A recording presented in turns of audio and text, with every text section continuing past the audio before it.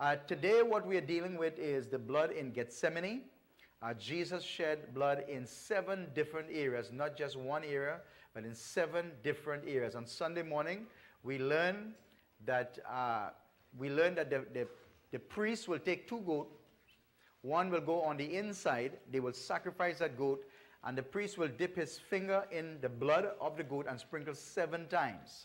We also learned that when a demon spirit comes out of a person, they go out and they look, they look for seven other spirits, wicked, much more wicked than them, and they come back in, not trying to get all to, to, to get in, but to see which door might be open so that the one that have access to that door will get in and then invite the rest in. Amen? You get a picture? All right. So we are, we are going to learn how to close those doors. We are fasting and we are asking you to go from midnight to 6 p.m. without any food, just drinking water and a lot of teas. And then at 6 p.m., you can eat any cooked food except meats. No red meat, no poultries, no sweets, but you could have fish. All right? And you can eat as much as you want uh, up, to, up to midnight. Uh, if you are on medication, of course, we are asking you to please eat. I don't want you all to go telling your doctor the pastor said that we don't eat. No, you're going to eat, but you're not going to eat any meats and any sweets at all, which is very good for you. And if you're worried about the proteins, have a lot of beans. When you have a lot of beans, don't come to church. Amen? Because we know what you do when you eat beans. But, but you can also get it with fish. All right? Okay, so those, those uh, handout, the, the, the fasting handout is, we have it available to the back too as well. So if you don't have it and if you're here for the very first time, we welcome you. If you're here for the first time, would you lift your hands if you're here for the first time? First time right here. Where are you from? I'm Georgia's co-worker. Oh, okay. You, are you an environmentalist too? You don't do environmental? The accounting part. Amen. You are more smart. You deal with the money. All right. We study hard in the environmental engineering and science department, and you get the money. You handle the money. All right. So good to have you. And what is your name? Melissa. Melissa. Come on. Welcome, Melissa. Amen. Is that your mom, uh, Esther?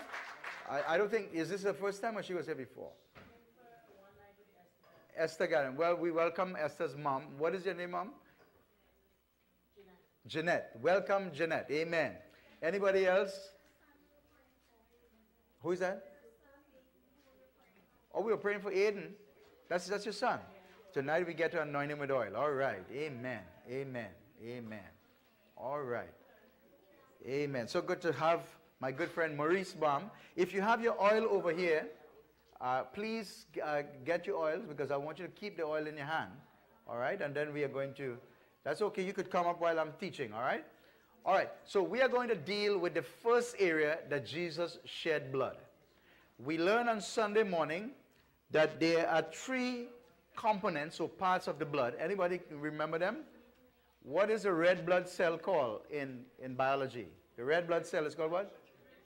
The erythrocyte. The white blood cell? Leukocyte. And then you have the... No, no, no, no. I don't want the doctors talking. I, I want...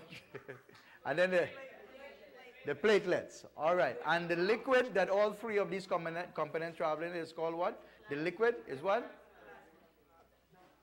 The plasma. Come on, give yourself a round of applause. All right. Amen. That's very good. all right. So we're going to deal with the first place Jesus shed his blood, which was in Gethsemane. All right. Now, we are going to, and I know that uh, Angela is here. She's a nurse, and we have a couple of doctors here. We have uh, you know, uh, we have advanced nurses that exclude, you know, you know, you know, you had to become a doctor just for me, all right? I'll come to that graduation, all right.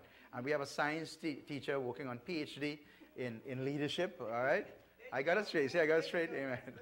So, so we're going to help me with some of those words, all right? But the bleeding on the face is where, in the, in the face of Christ and in the head of Christ, is where it took place first. And in medical science, you call it the hematidrosis. Hematidrosis, all right?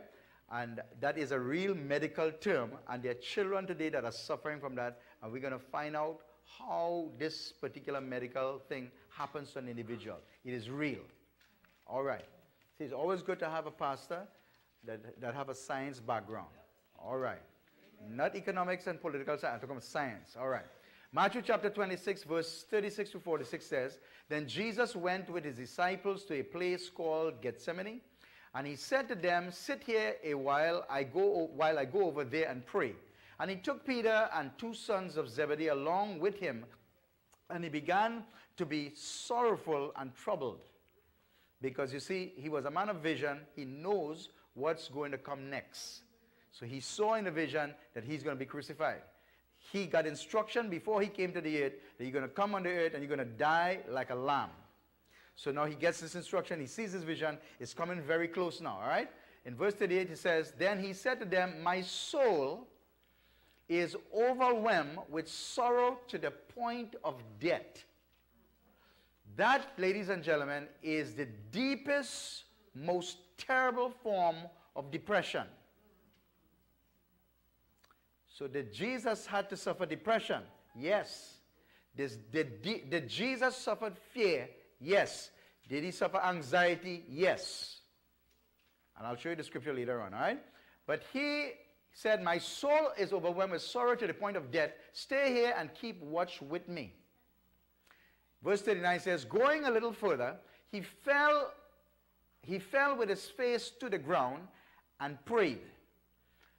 Falling to his face may not necessarily be that he volunteered falling to his face. It can be because of the intensity of his depression. His knees became so weak that he fell to his, to his face. Are you with me so far? All right. A lot of times we don't kneel and pray until there is some situation in our life. You all know what I'm talking about now, right? As long as things are going well, we prefer to stand up and pray. But when things get really tough, then we really get down on our knees and we begin to pray. In this particular case, the depression and the pressure and the stress that was on Jesus caused his knees to become so weak. Now you have to understand who Jesus Christ is. You have to understand he was identified as the Son of Man and he was also identified as the Son of God. As a Son of Man, he's totally man. As a Son of God, he's connected with God. Amen? So he's dealing with this situation here as a man. And he's also dealing with it as a Son of God. But he's dealing with it as a man. He's the man of all men. He says here now, as a man now, because he said the Son of God won't make the statement. A man will make the statement when he's under pressure. A son of God does not make the statement. A son of man will make the statement. Going further, he fell on his face to the ground and prayed, My father, if it is possible, this is not the son of God speaking. This is now the son of man speaking. Are you understand what I'm saying? Why, why is he doing this? Because you and I are just like him.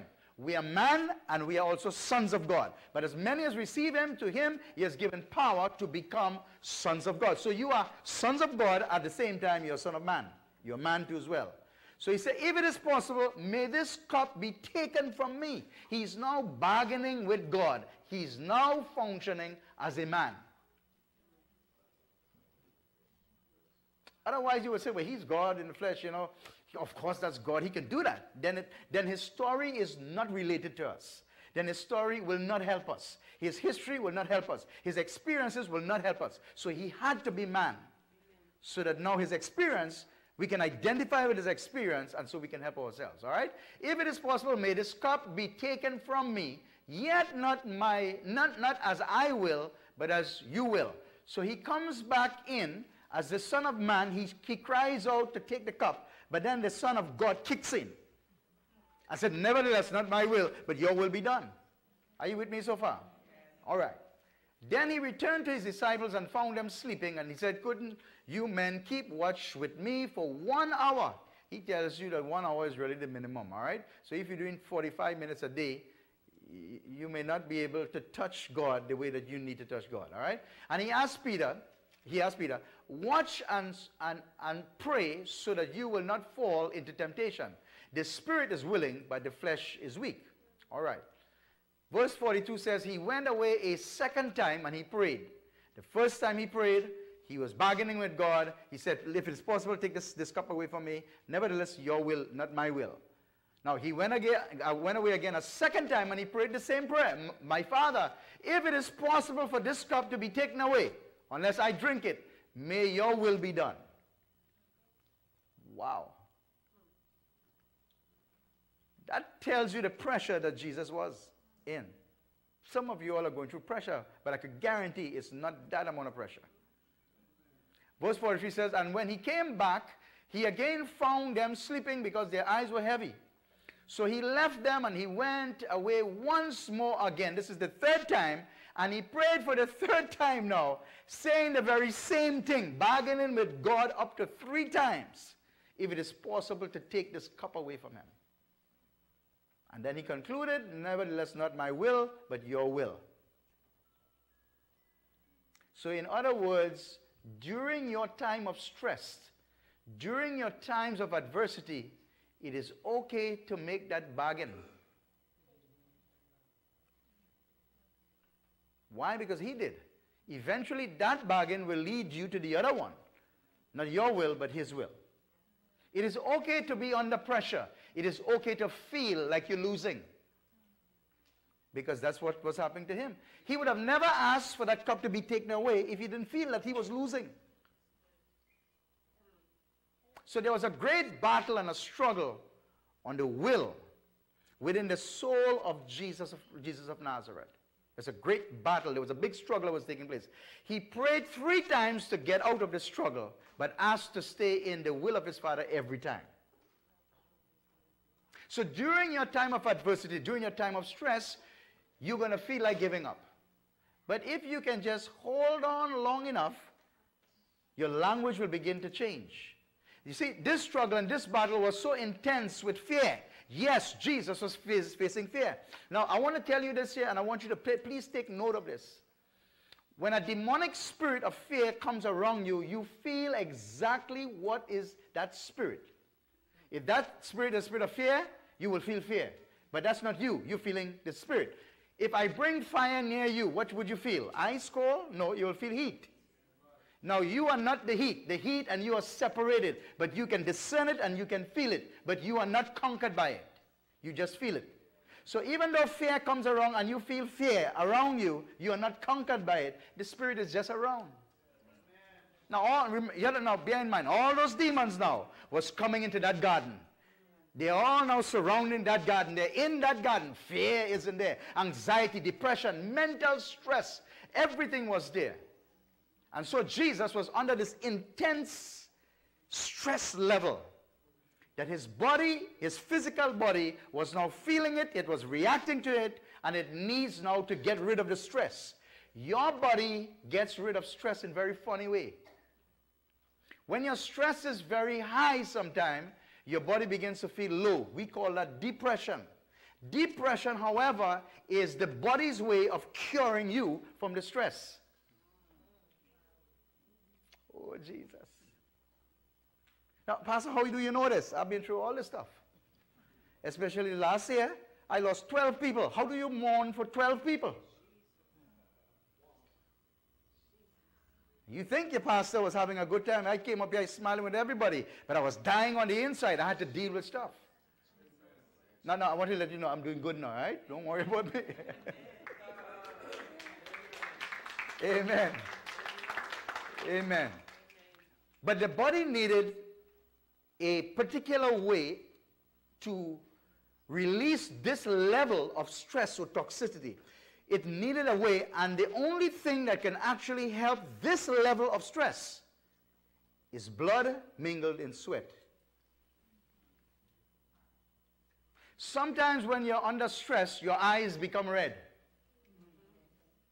Sometimes your face become dark. Why? Because your body is now being deprived of oxygen going to your head area, and so your body, your face will become either red or, or darker.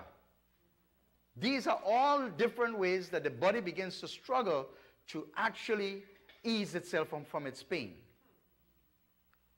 But all those things really, even though it may look bad, is really a good thing because it's really getting rid of something that is bad. All right. Now, Jesus won the battle that was lost in the first garden. Because in the first garden, when the devil came to Adam, he gave up his will. Sorry, he, he, gave up his, he gave up his will to take the will of the enemy. And when he took up the will of the enemy, he actually intensified his own will.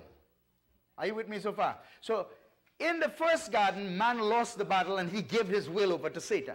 In the second garden, Jesus won the will and took it back for us. Now, you have to understand here, Jesus is not on the scene to do things for himself. He's not even thinking about himself. His assignment was not on for himself.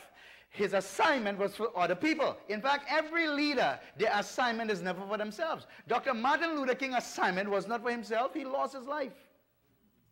Abraham Lincoln, leaders never really come to do battle for themselves. They always come to do battle for someone else. So Jesus is going through this terrible battle and he's thinking about you and I. Now he could have said, man, I'm the son of God. be a man, I could just flick my finger and just get out of this stuff. Of... But he's looking at you. He's looking at your future. He's there in the garden 2,000 years ago and he's thinking about the year 2015 and the people that are in 2015. Now watch this carefully. So he won the battle in the garden. And I want you to please listen to this and listen to this very slowly. Amen? And I have to say it very carefully too as well. He won the battle as a first fruit offering in the Garden of Gethsemane. He could not win the battle as any kind of offering. He had to be the first fruit offering. Why? Because the law of first fruit states that whatsoever happens to the genetics of the first fruits happens equally to the genetics of the second and the lineage. So that's why he has to come as a first fruit. He couldn't come as a second fruit or a third fruit. He had to come as a first fruit. Your forefathers to the fourth generation is your first fruit. So when you want to take care of your situation and what's happened to you, you have to go back to the your father, your father, father, and father, father. So you have to go back to your father, your grandfather, great grandfather, and your great great grandfather to solve this issue. The problem, though, is that none of us knows our great great grandfather. I barely even know my grandfather.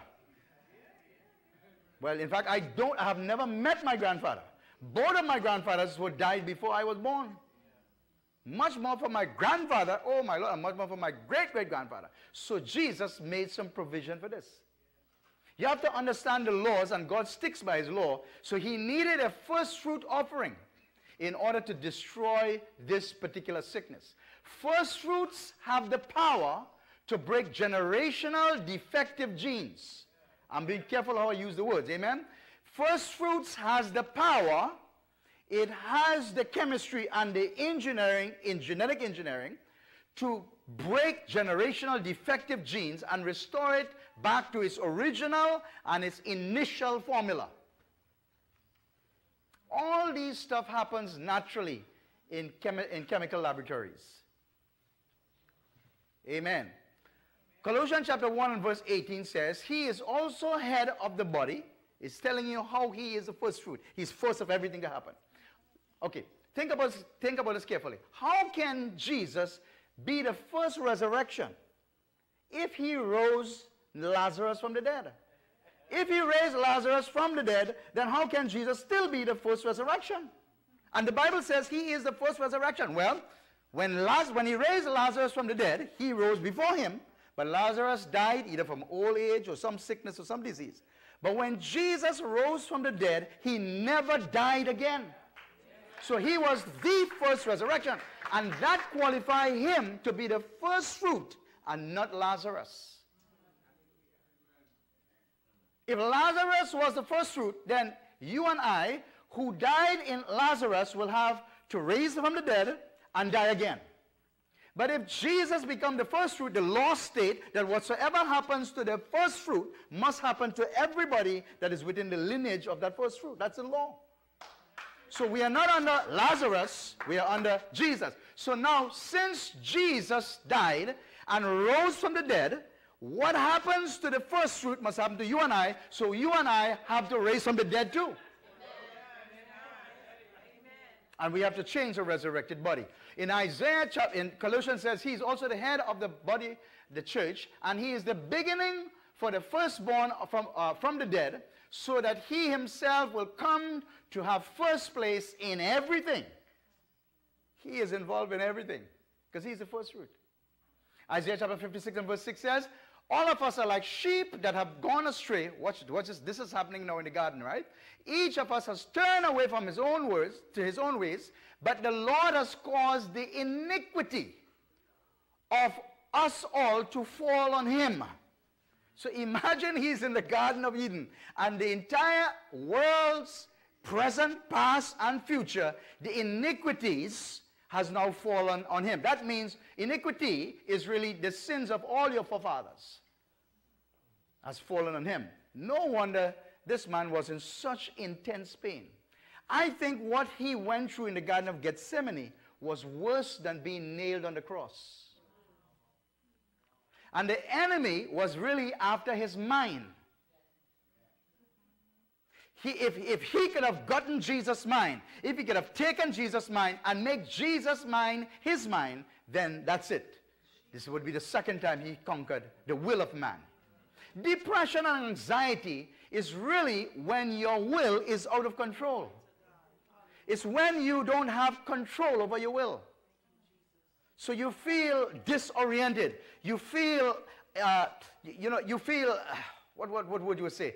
Uh, so pressed down. You feel like you have no say over what you want to say. That's what depression feels like. Hopeless is is the right word. You feel so hopeless. And now he came to fight for that back. Because from time to time, we all do feel so. There's some situation in our lives, if we've been through a divorce, a separation, a separation of relationship, family member died, whatever it might be, relocation, whatever it, we feel that from time to time. But all that iniquity came upon him. 1 Corinthians chapter 15, verse 20 and 23 says, But now Christ is risen from the dead, this is the first fruit now, and has become the first fruit to those who has fallen asleep. So now he is risen from the dead. There are some people that died before he rose from the dead. He has now become the first fruit to all of them. That's why some of them got up, the Bible says, some of them got up the grave. He had to send back some of them. Some of them went and they said hello, you know, to their aunt and their, aunt and their uncles. The Bible recorded that stuff. Hmm. He became the first fruit of those who have fallen asleep. So we see now that, that he's setting the order. For since by man came death, by man also came the resurrection of the dead.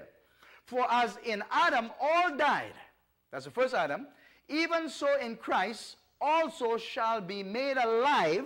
How, how is that going to happen? By resurrecting them. But each one in his own order, because there's going to be some dead and some alive when he comes back. Let me say that again. There's going to be some dead when he comes back, and there's going to be some still alive. So he made provision for both of them. You that are dead, I am the first fruit, you will raise again. You that is alive, I will transform your body. That means I have to really take you into death, bring you back in, so I'm going to rapture you. Well, that's what they call it out there, you know. In the kingdom circle, you can't use that word too much, you know. But I'm going to use it because that's what's going to happen. We may not call it that over there, but your body is going to change, and you're going to be caught up with him. Are you with me so far? In fact, in fact, let's read that. Let's read that. But each one in his own order, Christ the first fruits, afterwards those who are in Christ at his coming. So at his coming, there's some of them that are going to still be on the planet, so he has to change them and rapture them up. All right. Luke chapter 22 and verse 44 says, And being now in anguish, wow, he prayed more earnestly, and his sweat was like drops of blood falling to the ground.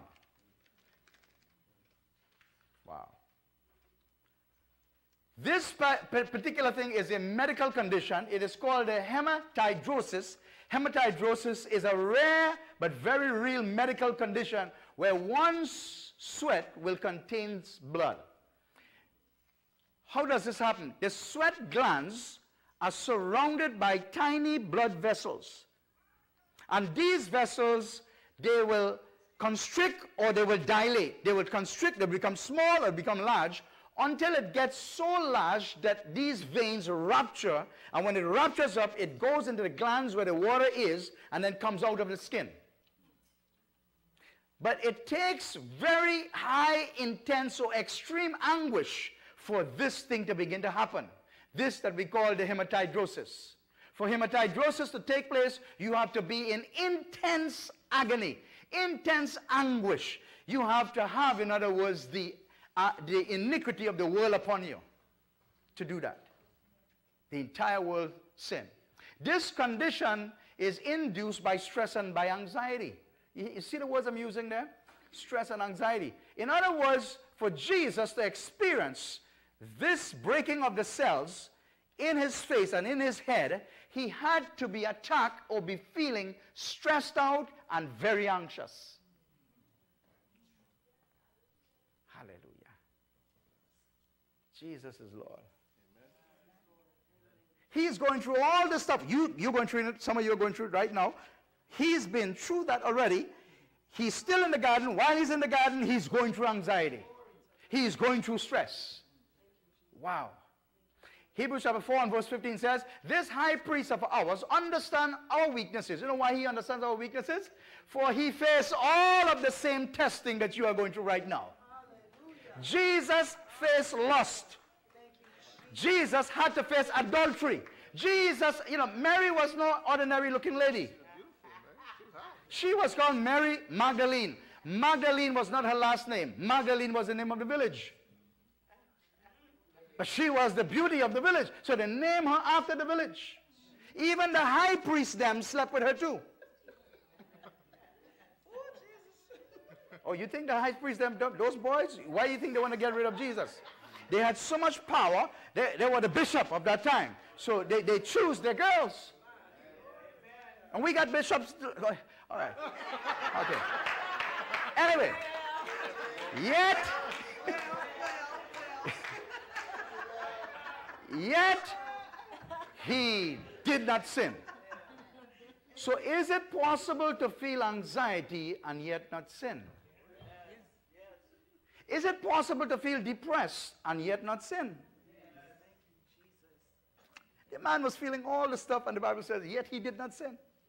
Whatever you're feeling, you're not sinning. You're just feeling some stuff. Hallelujah. Oh, Jesus. All right. And being in agony, he prayed more earnestly. Then his sweat became like drops of blood, which is hematidrosis, falling down to the ground. Luke chapter 22 verse 44. All right. The atonement is the sacrifice Jesus Christ made to help overcome sin, adversity, and death.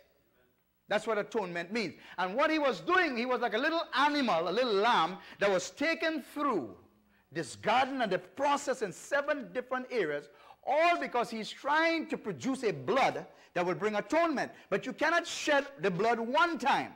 Because in the Old Testament, making atoning blood had to be shed seven times because the priest sprinkled seven times. So Jesus now, he could have just gotten one blood shedding, but instead of one blood shedding, he had to have seven sets of blood shedding.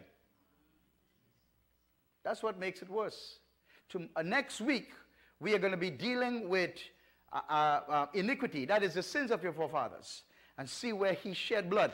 Where he shed blood over there was internally, it was not externally. He was bleeding on the inside because there's some stuff that you're dealing with on the inside, even though you look nice on the outside, but you're dying on the inside. And Jesus died to shed blood to take care of what is in the inside.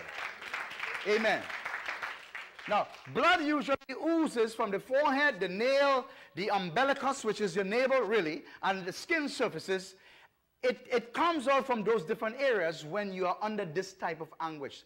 So, so the Bible is recording now that this particular, in this particular time, Jesus was bleeding on his face and his head. In other words, to protect his own mind from the enemy, he had to shed his own blood to cover his mind. so his blood actually covered him it did not only cover his face, it covered his entire head. Because you would bleed, in this process, you would bleed through your eyes, you would bleed, you would bleed through your nose. Nosebleed is actually one of those indications of high intensity. Amen. So he was, he, he, but he conquered it all so that every one of us can actually do it. Now, I want to go quickly because we're running out of time. Anyone who listens to the word but does not do what it says is like someone who looks at his face in a mirror and after looking at himself, he goes away and immediately forget what he sees. Now, it depends if you're nice or if you're ugly. I mean, if you're really ugly, you might want to forget what you saw. But, but, but in this case, he's saying something different. But whosoever looks intently into the perfect law that gives freedom and continues in it, not forgetting what they have heard, but doing it, they will be blessed and they will be, do, be able to do great things. Now, watch, what is it saying? The Word of God tells you about you. It tells you who you really are. It's one thing to read that I am more than a conqueror and then turn away from the mirror of the Word of God and say that I'm a loser. When you look into the mirror of his word, you will see freely without bondage who you are. You are more than a conqueror. You are made in the image and the likeness of God. You see, you will see yourself healed when you look at the mirror. The mirror says, by his stripes, I am healed.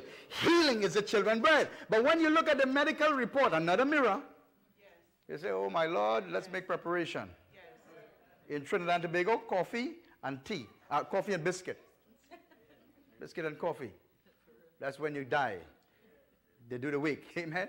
So you see yourself healed without sickness, full of joy, not of sorrow, a winner and not a loser. Amen. The word of God does not condemn you. Even when you get conviction, if you are reading something from the Bible and you're feeling condemned, that is not God's voice. The Word of God does not condemn you. What does the Word of God do? It convicts you. Convicts mean it tells you or it alerts you that you need to reconnect and make some changes. You have to repent, change the way that you're thinking. Hmm. What does it do? It convicts you, it confirms you, and it affirms you. So the next time the devil whispers guilt into your ears, don't plead guilty, plead the blood. Amen. Amen. Because blood does not condemn you with guilt. It saves you from guilt. Now we're going to piggyback a little bit from, from Sunday, all right? When the devil whispers in your ears that you cannot change, you are not strong enough. He says you are not strong enough. You don't have enough willpower to overcome this cup that is now before you. So you need to make the compromise. Give up your will and take this other will instead. Tell him, no problem. But just tell him, not my will. Because he's after your will. But his will be done. The way that God has designed us, it is much easier for us in fact, you, you see that lately for us to believe somebody else other than ourselves. So in that case, we, why, why we just don't believe God instead? If we have a habit of believing somebody else, what they say about us, because when they come and tell you that you're ugly, and you're stupid and you're not going to be anything else, you believe that stuff and you get depressed. So you might as well just ask, see what God has to say, somebody else has to say, and then believe what he says, since you're kind of designed that way. Then plead the blood and start thinking about what God said about your particular situation. Now watch this carefully. Millions of dollars, millions of dollars are being spent by governments all over this world in an attempt to help people to actually recover their own will. So they designed a catchword that says, just say no. And they said to drug addicts and alcoholics and people who are going through all kinds of stuff, just say no. And it seemed to be working for a little while, but the same people who are just saying no are turning right back and going right back into the drugs, going right back into the alcohol. Because you see, they were fighting with their own strength. Just say no is based on your strength, on their own strength. But it is not our will, but someone else's will that will win for us. That is the will of God. Just say no it's not working. You have to say what God says. Amen? When we yield to the will of the enemy, we are yielding to someone else's will. So why not just yield to the will of God, who is someone else with good thoughts that is thinking, making plans just for us? That's right. That's right. Amen. Hmm. Our will gets empowered from God's will. To activate God's will in our lives, we must first plead the blood. In other words, before quoting any scripture, you got to first plead the blood. You know why? Because sometimes you don't know what to say. And we just found out yesterday, uh, sorry, on Sunday, that blood does speak. Abel's blood speak, Jesus' blood speak, and we are finding out now in the medical laboratory, hematologists now are proving that when you take laser light and you, and you confront that beam against a cell of the blood, the blood actually resonates a sound. Well, God is light. And he's more than a laser light. And wherever light shows up, if there is blood, the blood is going to speak. This light of God is so strong that it does not only answers to Jesus' blood, it even answers to Abel's blood. So I wonder when God comes over you, and his light beams into your blood, I wonder which one of the blood is he responding back to. I wonder if he sees only your blood or does he see the blood of Jesus? So right now I want you to say, I plead the blood of Jesus over me. Because he's everywhere. Amen? All right. We're coming to a close, all right? Iniquity is really another word for genetic alteration or genetic mutation. Okay, we have an issue that we are dealing with right now. We just got a law passed. We have to be very careful. Right now in Texas, they are, they are filing, the, lawyers are filing, and I think the governor already signed a, a, a bill into act, and, and that is to prevent pastors from being sued for not participating in gay same-sex marriage. All right? So we want that same thing in Florida, but at the same time, we want God to do something in the Supreme Court and bring somebody to get majority vote, whatever he wants to choose to do. All right? Maybe my put Genesis there. All right. Iniquity is really another word for genetic mutation or genetic alteration. Now, please listen to me carefully, and I quote, and I will be very careful how I say what I say, all right? I'll be very careful what I say. Scientists are actually saying, from their research, many years of research, that there is no such thing as a homosexual gene. What they're saying is that there is an alteration due to environment from a study of epigenetics that the environment actually provokes another thing called a methyl group and the methyl group comes to the double helix which is in the, the DNA of the, the nucleus of the DNA and it twists and turns it to a slight angle causing a dysfunction in the human. Now, that's their words, dysfunction. Amen? Am I doing good there, Lord? Okay, I'm all right. I am quoting. Now, I am a scientist too as well, and I did do some studies in genetics, but I'm not quoting from my research. I am quoting from their research. So iniquity really is another word for genetic mutation. Genetic mutation or alteration takes place when three to four generation of, of fathers create personality and characteristics that conforms or changes into the forms of nutrients. These nutrients finds its way into a compartment of the cell that is called the Golgi apparatus. It is stored in the Golgi apparatus three to four generation of personalities and characteristics. It remains in the Golgi apparatus. You go about your business. You are a born-again, spirit-filled believer in the Lord. And then suddenly you start feeling different types of uh, sinful nature. Start emerging within yourself. And he said, but all the time I was doing well. Why is it suddenly I feel like drinking alcohol? Why is it suddenly I don't feel an attraction to the opposite sex? And there is something that is actually happening and taking place because there are some proteins that were stored into the Golgi apparatus that now came alive and is now transmitted to your body six seconds every time throughout your body. And what it's doing now is creating certain types of feelings, and you're confused by what you're feeling. And all that's happening is an iniquity, or what we call a genetic alteration, a genetic mutation. Iniquity is the sins of your forefathers that is trapped within yourselves. You got your puppies and your great grandpappy genetics and genes inside of you. You got it.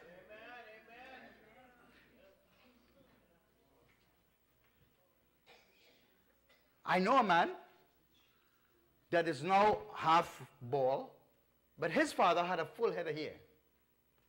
And his grandfather had a full head of hair. But his great grandfather was completely bald. Sometimes it skipped some generation. Why? Because those two generations did not get in the same environment that provoked that gene to become mutated. That's why God keeps stressing all the time that we ought to be in the environment and in the presence of God. When you are in the environment or the Eden, the environment of God, the Eden, you will never malfunction. Amen. Adam began to age when he came out of the environment or the Eden of God. He began to malfunction. No, I can't say that. All right. Iniquity is really like a genie inside of your gene. You have your gene, but you have another voice speaking out of your gene. And that is your grandfather's voice. That is your great grandfather's voice that is speaking out of your gene. There's a genie in your gene. It is an illegal sound in our gene transferred to us by our fathers. We go about ourselves, we want to live a good life, and suddenly we go into an environment where other friends went into, we begin to take the drugs, but our friend never did. We went in the same environment that our fathers was. But maybe the other two that was there with you were not from the environment or did not inherit genes that came from their fathers. That is what you call, this is what you call iniquity. Amen. But God's will was designed to actually silence and destroy the genie's voice and replace it with his voice and sound or his will to become your will. Now, hear, hear the word I'm saying now. I'm saying God's voice was designed to change the gene in you. But we need a sound to do this. And in order to have a sound to do this, God has actually placed sound in blood. That's why Jesus' blood is so powerful. Amen. Remember again, God heard the sound or the cry from Abel's blood. Then the, and he responded to that, to that cry. But the Bible says if Abel's blood can cry out this much, how much more would the blood of Jesus cry out on your behalf? Amen. So now, since iniquity or a genetic alteration or genetic mutation is found in where? In blood. It's not found in flesh. It is found in blood. All right? Then we need a transfusion of pure, unaffected father's blood, another father's blood, to come back into our veins. How do you call that thing again when, when you go through the, for, for, for sugar diabetes? You remove the blood? Dialysis. We need a dialysis with blood, but blood from the Father. Hmm. I'm going to close with this. And since blood has a sound that we may call a genie, then the genie of all genies, Jesus Christ, his blood makes a new sound in the nucleus of the human cell or our being, and our will is satisfied with it and destroys the iniquities that transferred down to us through our fathers, our grandfathers, our great grandfather, and our great great grandfather to the third and the fourth generation. This Italian scientist by the name of Camillo Golgi found that the Golgi apparatus can only hold proteins from your fathers up to three or four generations. Oh, I thought you get excited here, man. Even biologists is proving that the things that God have said is true. So Camillo uh, Golgi, out of it is that he was an Italian scientist. He found that this compartment of the cell can only hold proteins from your forefathers, lipids and proteins from your forefathers to the third or fourth generation.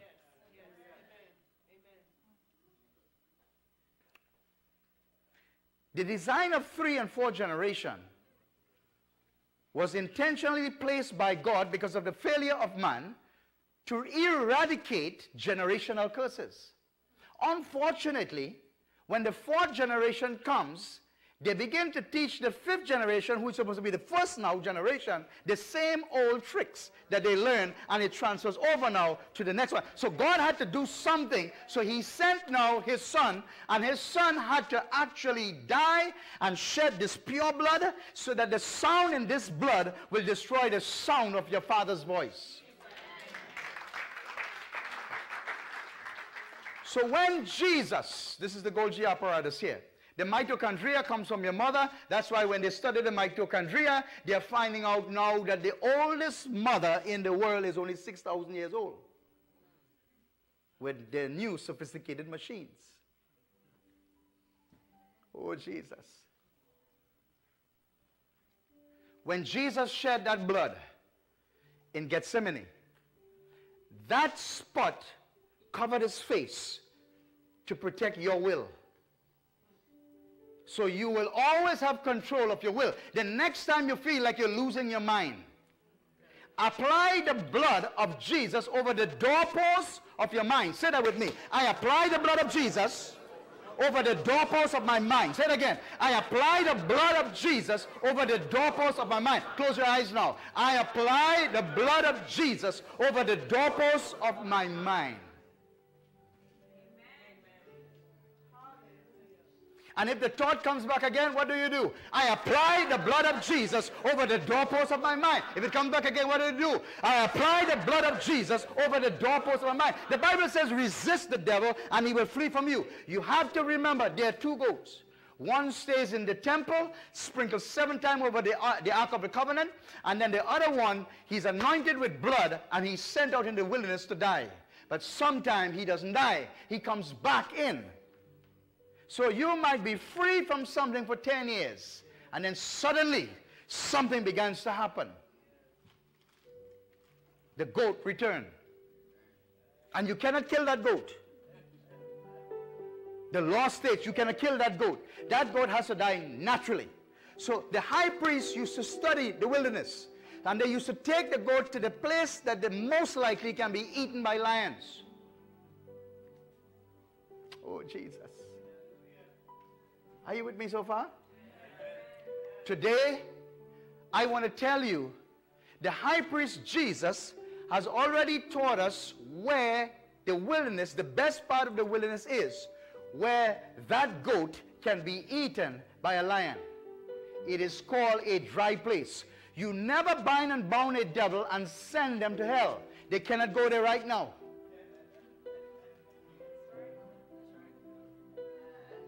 The Bible says when the Spirit comes out, it goes where? Into a dry place. That is their location. It is a dry place. It is a place of outer darkness.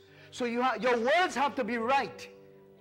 You have to give that goat instruction. Tell that goat to go out into dry places. Now remember, sometimes from the dry places, what does he do? He's tormented there. He's there because you sent him there. But there comes a period of time when he leaves the dry place and he comes back in and he brings seven others with him. Why seven? The seven areas that Jesus shed his blood are all gates of your protection. Tonight, we are dealing with gate number one, and that is your mind. That is the way that you're thinking. Satan wants your mind, but God wants your mind too. He wants you to have the mind of Christ. Are you with me so far?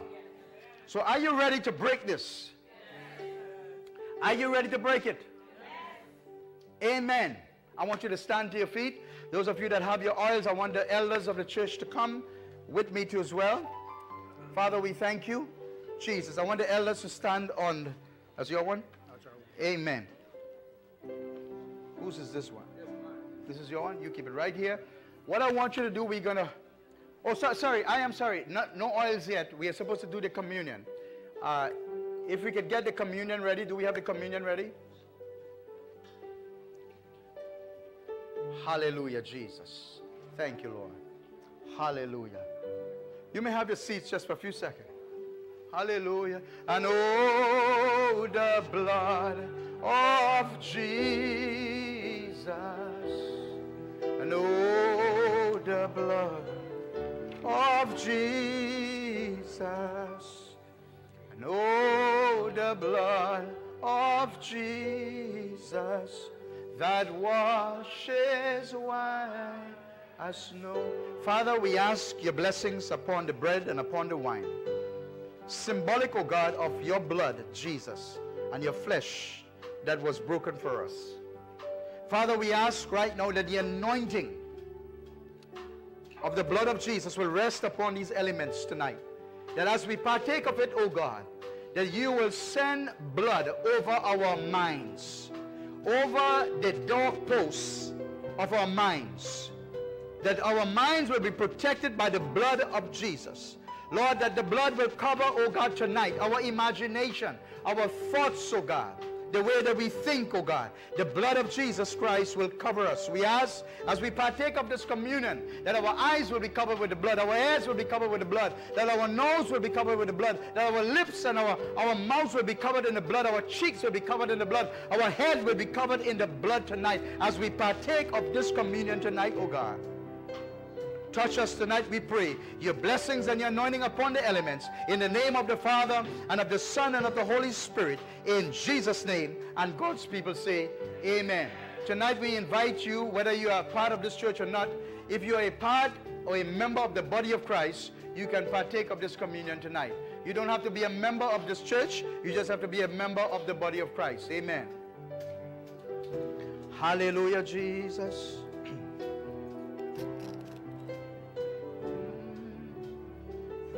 The Bible tells us Jesus said to do this in remembrance of us, remembrance of Him. The reason why He says to do it in remembrance of Him was because His body was dismembered. His, the joints were separated in his legs, his joints were separated in his hands, so he was dismembered. So when we remember, we bring the member of his body back together. Amen. So today you have in your hands the element, the physical symbol of remembering our Lord, his death, his burial, and his mighty resurrection. Jesus, we thank you. I know the blood of Jesus. Oh, the blood of Jesus that washes white as snow. Jesus, we give you praise. Hallelujah. Hallelujah. Hallelujah. The blood and hallelujah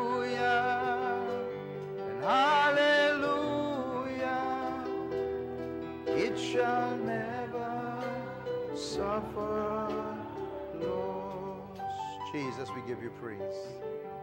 We give you honor. We give you glory, O Lord. Thank you, Jesus. Thank you, Lord. We want to make sure that everyone is served. If we missed you, would you lift your hands wherever you are? If we missed you out, amen. Jesus, we thank you. Hallelujah. That washes white Hallelujah. Thank you, Lord. Was everyone served? Did everyone get the elements tonight? Amen. You hold in your hands the symbol of the, the New Testament and the Old Testament, the Old Testament and the New Testament. But tonight we prayed that this symbolism, as we partake tonight, will release the blood of Jesus Christ over our minds. It will release the blood of Jesus Christ over the doorposts of our minds. And once the blood of Jesus is there, if the death angel comes, it has to pass over. So tonight, as we partake of this communion, that is exactly what's going to happen. Amen. I want you to get the bread out and lift it in your right hands at this particular time.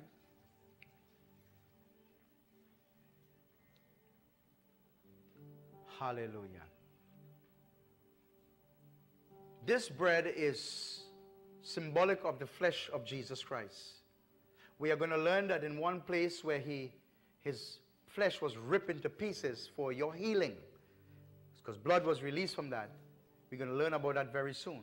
Today, you hold the symbolism of the bread, which symbolizes the flesh of Jesus Christ. On the eve of his crucifixion, he met with his disciples, and after he had blessed it, he broke it. I want you to break it at this time. And he said, Eat in remembrance of me. Let us eat together, remembering our Lord Jesus Christ. Hallelujah.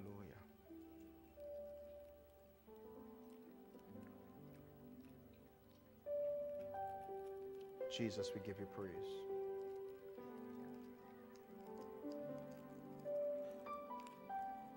Hallelujah to the Lamb of God. I want you to get the wine now ready. On that same night, when he sat with his disciples in the upper room, they drank wine, and the wine was for the establishment of the new covenant. Today, we are remembered of that new covenant. And that new covenant brings good and new things to us. He said, Do this always in remembrance of me. Let us drink together of the blood of Christ.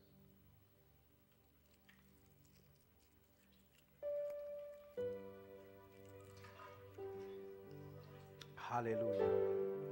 Then the Bible said they began to sing. They began to sing in preparation for another cup that's going to only be drunk in the kingdom of heaven, he says. And that is the cup of Hallel. Jesus, we give you praise. Hallelujah. Of Jesus. Oh, the blood of Jesus that washes white as snow. Hallelujah. And hallelujah. Hallelujah.